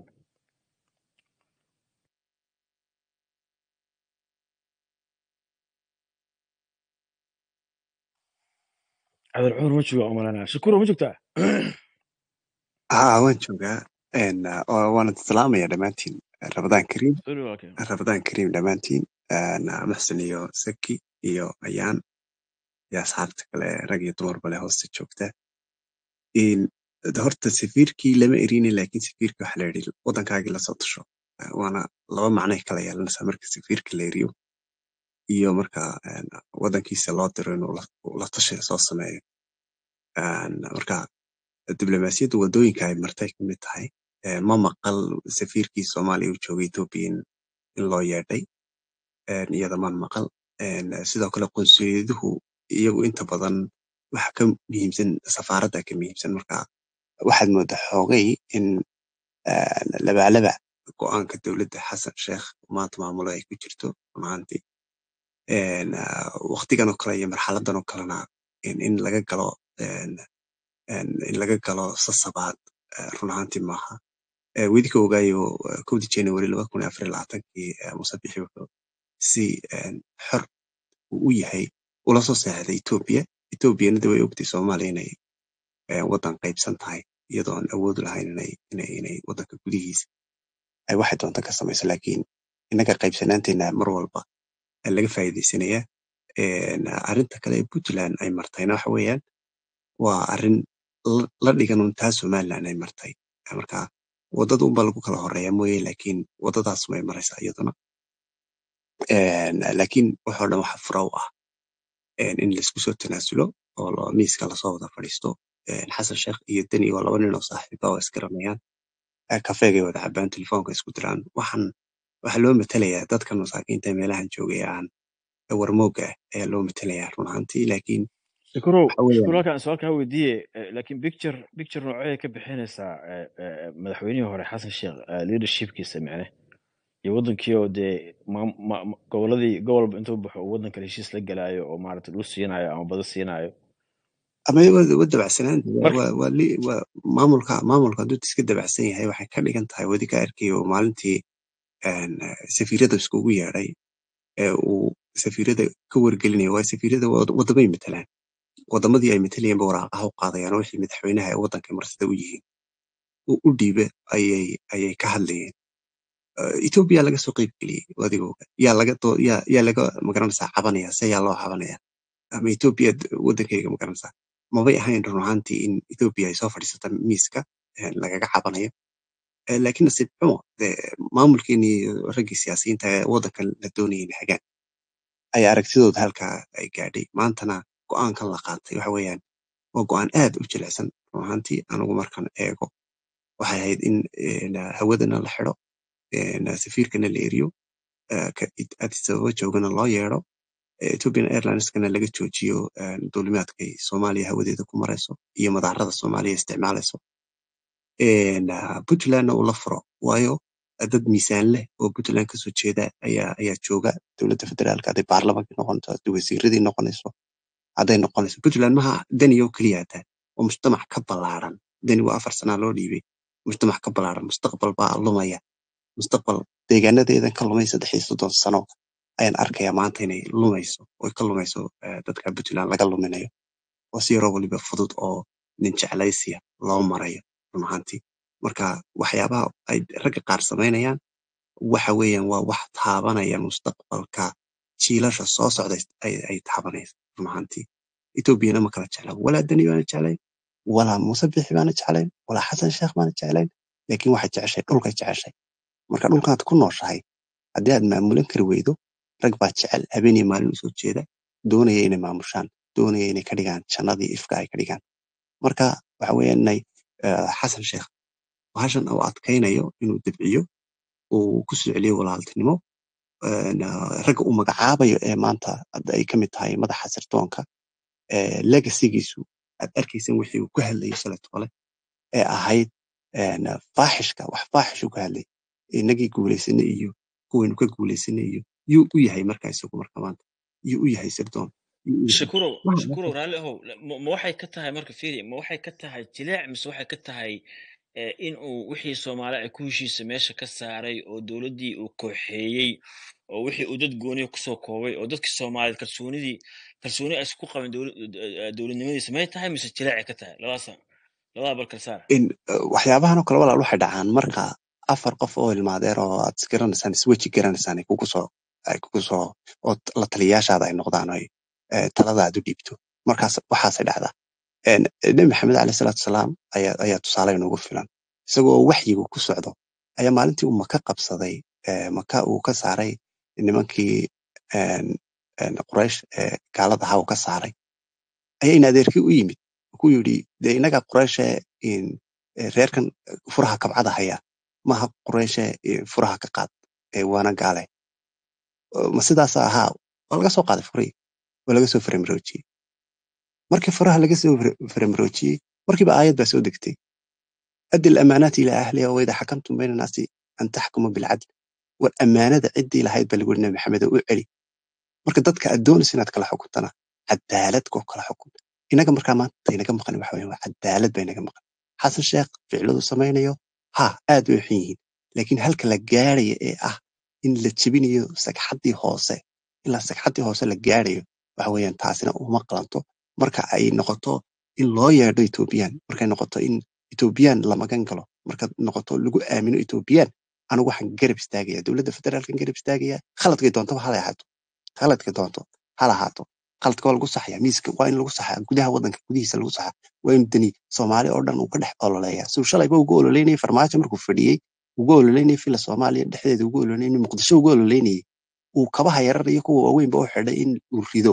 Maantana ha ka ololeeya muqdisho fulinimada ha joojiyo ta muuse bixi oo kale ku jirta mid lamida ku jirta SDF iyo SNM iyo USC mar dambe yaanay waddankan ku soo laabanin fikirkooguna yaanu ku soo laabanin meeshan afartan sanaa laga taagayma cimrigeedii baa kulmay cimriga ubadkeedaa kulmaya jiilasha soo socdaa kulmaya waryaynaan madaxa isku salaaxin cidda khaladka wada waa la arkaya khaladka waa la sixi karaa laakiin khaladkii ninkii sixi lahaa hadduu khalad ka weyn keeno macnaheedu waxa weeyaan marka horeba meel uma socon xasan sheekh wuu qaldayey laakiin dani iyo muuse bixi way ka sii qaldan yihiin mustaqbal baanay luminayaan umadeed bay luminayaan run ahaantii marka waan salaamaya ma rabo inaan sii hadlo hadlo waa soomanahay kheyr baan dirajinaya ilaahay ay naga aqbalo soonta iyo salaada waa mahadsantahay walaalkay aamiin waa mahadsantahay Eh, xamdaan awa xamdaan asalaamu calaykum waraxmatullahi wabarakaatu waa ku salaamay thanks. waa mahadsan dowra adiga iyo kheyrta kale waa ku salaamay muxsin iyo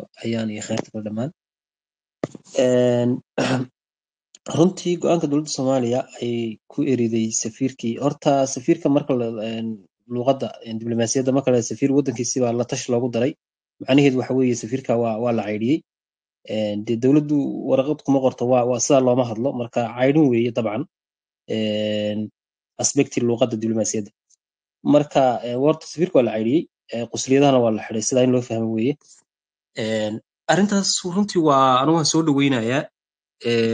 Waxaana qabaa inay tahay go'aan soo daahay. Arrimaha kale ee runtii halkan lagaga hadlayey een, yacni madaxweyne xasan sheekh maxamuud habdhaqankiisa siyaasadeed iyo dastuurka iyo waxyaalahaas oo dhan dadka aadka uga soo horjeedaan ka mid ahay. Runtii dowladda puntlandna ku taageersan go'aamadii ay qaadatay oo ahayd. Inaan waxaan loo dhammayn oo hal qof iska qortay inaan waddankan lagu xukumi karin. Soomaalida badankeeduna waa ka soo horjeedaa marka laga tago dad een, runtii aan isdhihi karo waa in kooban. Laakiin taas waxay ahayd inaynu puntland ahaan xaydaamka soomaalinimada iyo soomaaliya dhexdeeda iyo sharciga soomaaliya dhexdiisa aynu xasan kula xifaaltanno. Runtii halkaasna doodiisa lagu jebiyo. Ah, qof amay gufreen. Oo puntland waxa u furnaa runtii dariiqyo fara badan oo taageero fara badan oo fiicanna way ku haysatay. Dad badan oo soomaaliyeedna way taageersanaayeen Een, xasan iyo doodiisana runtii waxaan aaminsanaa inay ka guuleysan karto. Sababtu waxay tahay xasan qardajeex uu waday. Dadka soomaaliyeedna waa kala dirayay marka puntland waxay ahayd waddooyin kale inay marto inay garowe shir ku qabato oo maamul goboleedyada iyo dadka kale siyaasiyiinta soomaaliyeed isugu yeedho. Xasanna lagu soo celiyo xayndaabka siyaasadeed. Laakiin een, arrinta etoobiya runtii etoobiya waxaan u arkaa inay ahayd arrin ay puntland halkaas ku dhiiqowday go'aan khaldanna ay qaadatay.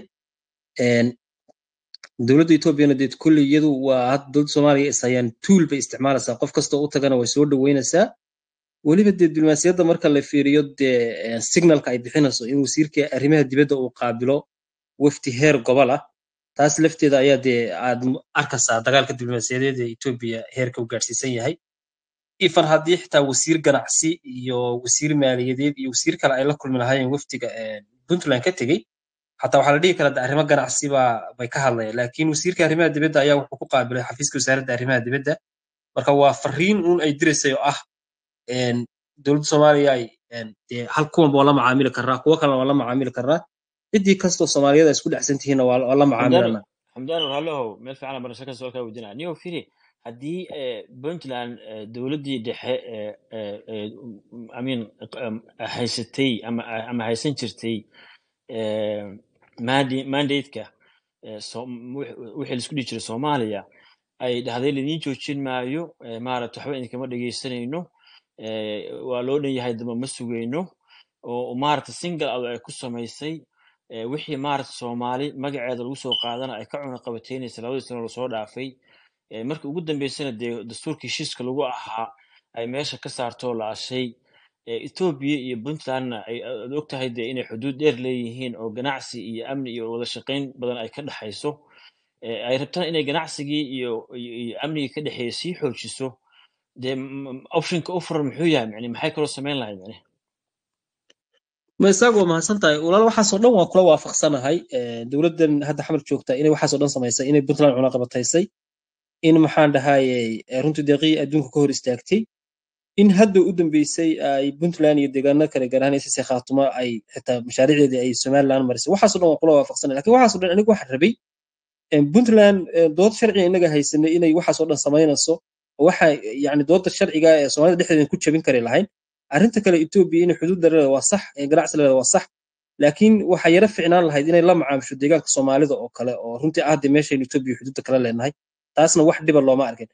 Laakiin tallaabada etoobiya eh, okay Somal- puntland waxaa laga yaabaa hadda iyadoo arrintan inay yani eh, ganacsigeeda iyo waxa ula jeeday oo aanay kuba khaldanayn. Laakiin etoobiya ayaa waxa istuul ah u isticmaalaysaa ah soomaaliya waad kala qaybsan tihiin waxaan doonaanu samayn karna. Taasna waxa walaal kuu cadaynaysa waftiga puntland waxaa qaabilay wasiirka arrimaha dibadda oo dee ah qofka dee maxaan dhahaye janalka diblomaasiyadda ugu sarreeya waddankaas. Marka dee kolley etoobiya iyadu waxay violation bay ahayd. Doodaha puntland anigu aad baan u taageersanahay saan sheegay. Arrimahan dastuurka ku taageersanahay wax badan oo ka- oo kalaan ku taageersanahay. Waxaana aaminsanahay in laga khaldan yahay. Laakiin arrintan hadda wasiirka arrimaha dibadda uu wafdiga puntland qaabilay waxaan kaloo aniga aaminsanahay etoobiya waxaan dhan inay u samaynayso si ay u sharciyeysato mougii xaqdarrada ahaa ee la gashay maamulka gooni goosadka ah oo intay maamuladan kale la kulkulanto la yidhaahdo maamuladii kale bay la kulmasaayo halkaa intay jahawareer ka abuurto ay mougii saxeexato oo halkaas maxaan dhahaye sharci ka dhigato. Taasaan aaminsanahay. Waxaan kaloo aaminsanahay etoobiya inay soo celisay habdhaqankii tigreega oo ay dowladda hadda abiy axmed ay meesha ka saartay oo ahayd. Soomaaliya kala hayso kala nahay qofkaad maxaa dhahay doontid u yeedho qofkii ee kuu bahda u yeedho dhaqan noocaas oo kale. Runtii dhaqankaasna soomaaliya oo dhan ma anfacayo puntland meel kasta gobol kasta waana waxa loo baahan yahay runtii inaynu dhammaanteen ka wada hortagno inagoo dhexdeenna een, maxaan dhahay waxaynu kala dhacsanana kala dhacsanana dadka dowladda jooga khaladkeeda qabanana.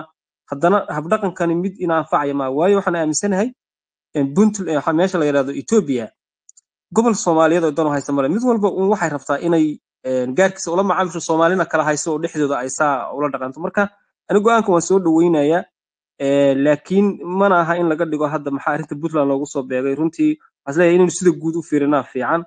Oo dee inagoo aaminsanayn kii somaliland inuu khaldan yahay oo halkan dadkii ka dagaalami jiray dhihi jiray arrinta go'aan laga qaado. In hadda go'aanka marka la qaato la yidhaahdo puntland baa loola jeeda xogaa dee waxay noqonaysaa inaan marka hore wixii daacad laga hayn. Marka saasaan is leeyahay waa idiin soo celi waa mahadsantihiin waa mahadsantahay xamdaan walaalkii waa mahadsantaha soo dhawow waxaan siinayaa samsam ibrahim aan siinayaa muxsin waxaa harta inaa dhahday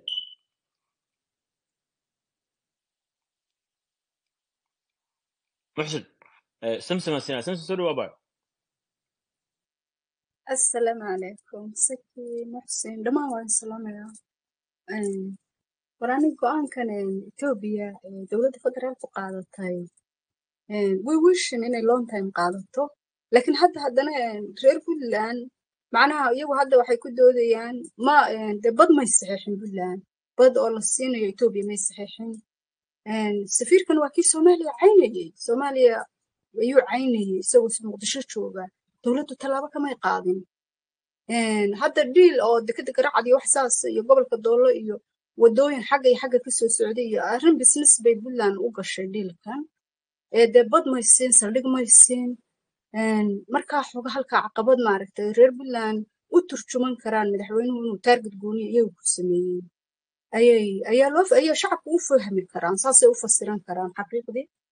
Midda kalena waxa weeyaan soomaalida haddaynu heshiinin oo soomaaliya la heshiinin etoobiyaanku marba waxa fartay rabaan bay qorayaan marba weygay rabaan bay kula dhaqmayaan.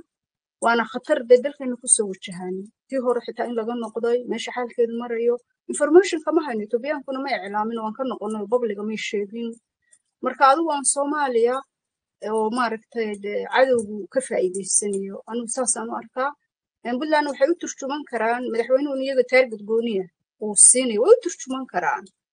Oo ah de wixii aan ogeyn wixii dhacay madaxweynaha intaa safiirka caydhay inuu mar hore ma dowladdu maanta geesa hero bay noqon lahayd hadduu long time ay samayn lahaayeen. Ficilkan ay hadda safiirka u sameeyeen.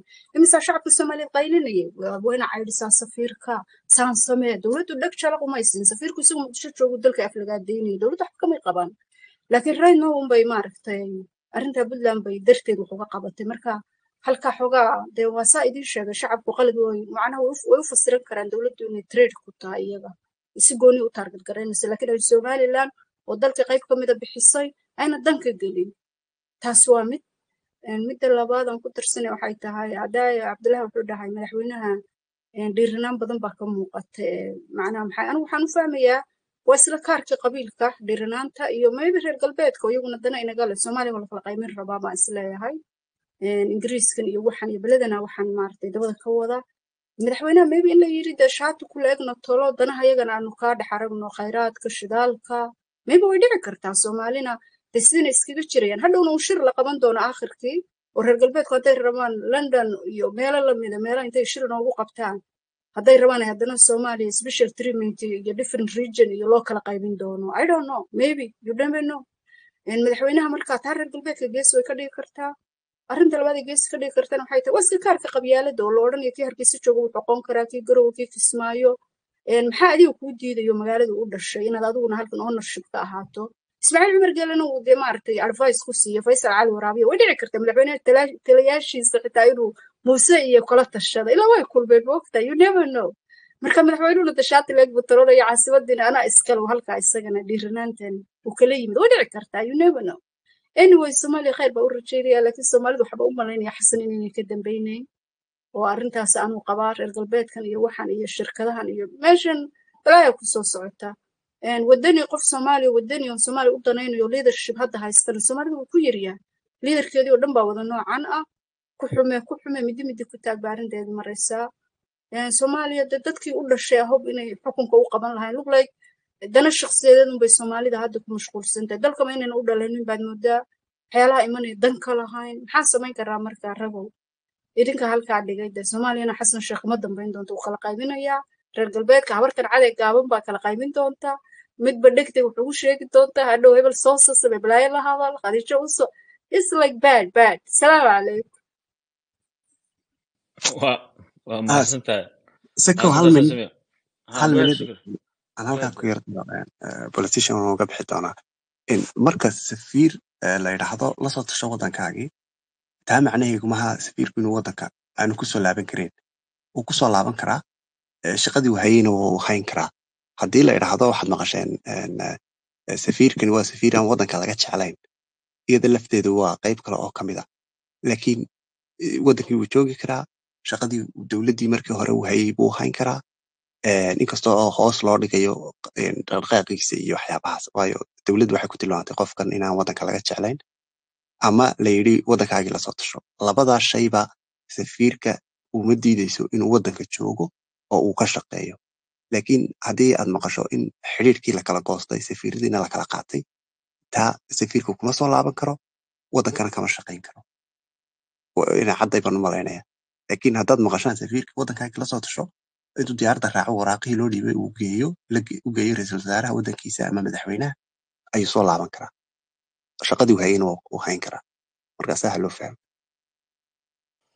Waa mahadsantahay shukurow niyow eh, eh, puntland haddaa fiirisid taariikhda ama wixii soo dhacay labaatanka sano la soo dhaafay eh, iyo dowladihii soo jiray eh, dowlad kasta ama nin kasta oo fila soomaaliya yimaada eh, meesha uu dagaalka ugu horreeya ku bilaabo oo dagaal ku qaado oo ula challenge gareeyo puntland ay ahayd.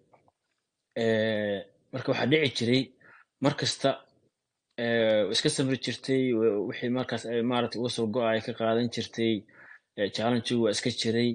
Laakiin teendhada markii la tago way maaragtay rajaan iska qabnay moogta oo ah ninka beri imaan doona ninkan dhaamin doona ama ka fiicnaan doona rajadaas dadka soomaaliyed ay qabaan baanu la qabnay anagoo weliba dee tirsanayna inaanu maaragtay dowladnimadan eh, wax badan soo gelinay oo laga yaabo dadka soomaaliyeed eh, intooda kale inaysan soo gelin oo dee ama dhihi karnaba dhiiggii dhacaan baan soo gelinay. Eh, taas waxaa sii dheer maarata dastuurka hadda dhalaalay saasoo kale isagana juhdi badan iyo time badan baan soo gelinay. Eh, marka hadda waxaa moodaaba of course yaan qalad la ii fahmin waa je- waa jeclaan lahaa qurbahan joogaa eh, maarata da- da- da- wadankeena inuu maarata dowlad helo oo horumar gaaro oo maaragtay wadan sharcigu sarreeyo oo qofku uusan sharciga maarata ka weyneyn oo ama ama caalamka kale sida maarata ay u nool yihiin oo kale inaan u noolaana waa jeclaan lahaa.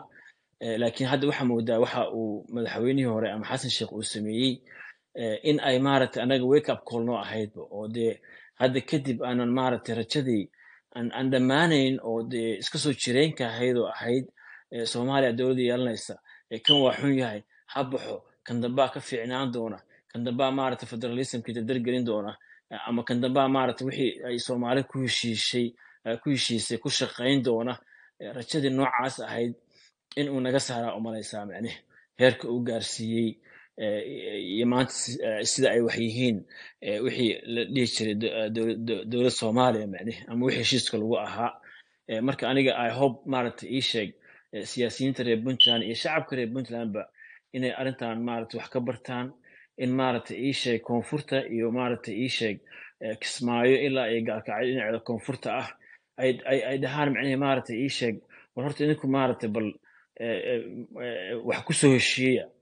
Dowladnimada nooca aragtaan eh, maaragta amni soo samaysta nimankan afduubka la dagaalama deegaanadiina ka xoreysta Eh, markaa kadib aan isku nimaano oo wax dambe oo maaragta teendho ku saabsan iyo isku dhexyaacaan iyo maamul goboleedyadii kala ogolaada in la dhaho maaragta ii sheeg ama oo oo oo oo anagi nalo kaga nala ka dhiga micnihi ama dadka soomaaliyeed naloo tuso inaan nahay dad caqabad ku ah dowladnimada soomaaliyeed. Dee anagoo maaragtay dowladnimadii haysanaba oo dee oo intaasoo maaragtay kun oo kilomitir eh, over 200 maaragtay eh, laba boqoloo kun more than laba boqoloo kun oo kilomitir ay amni tahay oo maaragtay ii sheeg eh, dowladnimadii ay ka shaqeynayso oo waxbarashadii iyo caafimaadkii wax walba ay yaalaan.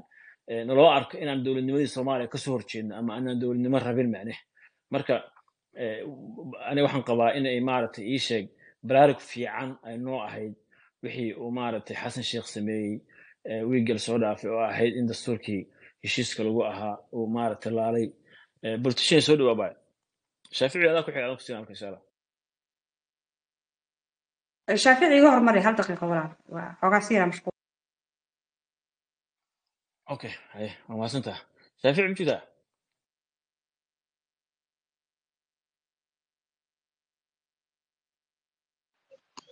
maanta may maqashaa? Haa waa lagu malahaa haa lagu malahaa haa zaki waa idin salaamay waa mahadsantihiin dhammaan akhyaarta kale waa salaamay Een, wallahi waa tallaabo aan soo dhaweynayo oo bogaadin mudan inkasta ay soo daahday haddana waxaad moodaa dhinaca diblomaasiyadda een, dalkeena inuu aad ugu hooseeyo tallaabooyinka la qaado marka dal uu xadgudub ku sameeyo arrimaha gudaha. Marka caalamku aad aragteen haddii xitaa lagaa shakiyo ama aad xadgudub uu dalkaaga uu ku sameeyo dal kale immediately in xilli ilow hadday ahaato saq dhexe habeen hadday ahaato xitaa isla markaaba go'aan degdega wasaaradda arrimaha dibadda ay ugu yeerto een, diblomaasiyiinta ama safiirka dalkaas su'aala laga weydiiyo kadibna dalka laga saaro.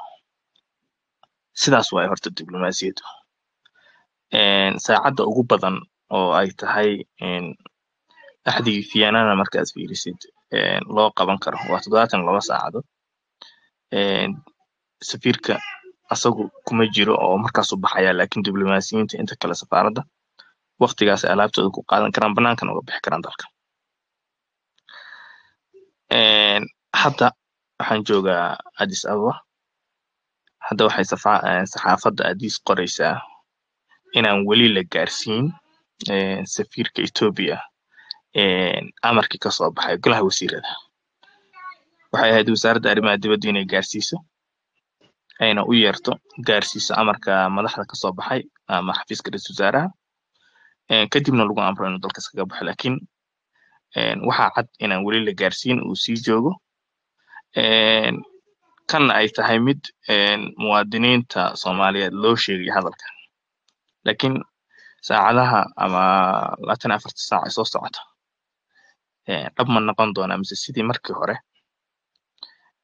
markii heshiiskii badda oo kale ayay u dhici doontaa in la dhaho wadatashi hadhowna uu dalka dib ugu soo laabto shaqadiisa hore u wato. Waxaa la xiray qunsuliyadihii ay lahayd een, Ethiopia oo Puntland ay ku lahayd xarunta Garowe iyo Hargeysa. Ma la xiray ma runba maya. Waxaan ognahay anu waxaan arkay een, ay badda la saxiixay heshiiskii MOU-ga oo Muuse ninka iyo Abiy. Qunsuliyadii xaruntii ugu furneyd baan leeyahay Somaliland Addis Ababa. Waxaa lagu qoray magaca safaaradda I don't know waxa lagu qoray. Tii Hargeysana wayba furnaydba oo diblomaasiyiin badan baaba horay een, la sii geeyey oo intay xiisadu socotay. Marka waxay u muuqataa een, awood inaysan u lahayn dowladda federaalku inay xirto. Tan Puntland hadda Garowe ka furanna umalayn maayo hadda inay xiri karto. Waayo hadda halkan Puntland xafiis bay iyada laftigeeda xarun bay ku leedahay Addis oo hadda ka horaan kuwa reer Puntland oo badan baa intii jaamacadaha Hawaasa jaamacadaha Hawaasa ku taal oo halkan ku taal oo Addis waxay jirta soddon kilomitir intii dukumentigooda laga soo celiyey baan u raacay. Marka waan yaabay inay halkan xarun ku leedahay rag badan dad badanaa ka shaqeeya. Marka toos bay ula xiriiraan wasaaradda waxbarashada etoobiya anyhow xitaa scholarshipku federaalka ma soo mareen puntland een, xafiiskanaaba toos ugu soo qaado oo garowa keena marka horta een, dalkeenu sidaasuu baylaha u yahay oo waxaan la isu sheegayo oo dhan waxba kama jiraan. Tallaabo noocee ay dowladdu qaadi kartaa marka? Hadday diideen een, Etoobiyaanka inay xiraan horeyna aysan u xirin. Horta anu waxaan arkaa heshii xiriirka Etoobiya iyo faragelinteeda diblomaasiyad ahaan Soomaaliya daacad kama aha markaan fiiriyo wax badan. Dal marka uu kugu soo xadgudbo waa inaad joojin kartaa wax kasta oo cilaaqaada oo kala dhexeeya. Bad beri nooc kasta uu yahay. Si aad u hubisid ama aad u sugtid madax banaanidaada iyo qarannimadaada taasna lama sameyn diyaaradaheeda maanta ugu dambeysay. Gabar garow u socotay. Alaab baan ugu sii dhiibay. Diyaaradda Air- Ethiopian Airways garow ka degtaa. Waa transit boosaasay ku sii degtaa. Marka horta waxaan ay dowladda federaalka inoo sheegayso iyo amar baa soo baxay iyo safiir ba inta ka dhacay iyo haddii aan tallaabooyin waaweyn la qaadin oo xitaa aan diyaaradaheeda la joojin.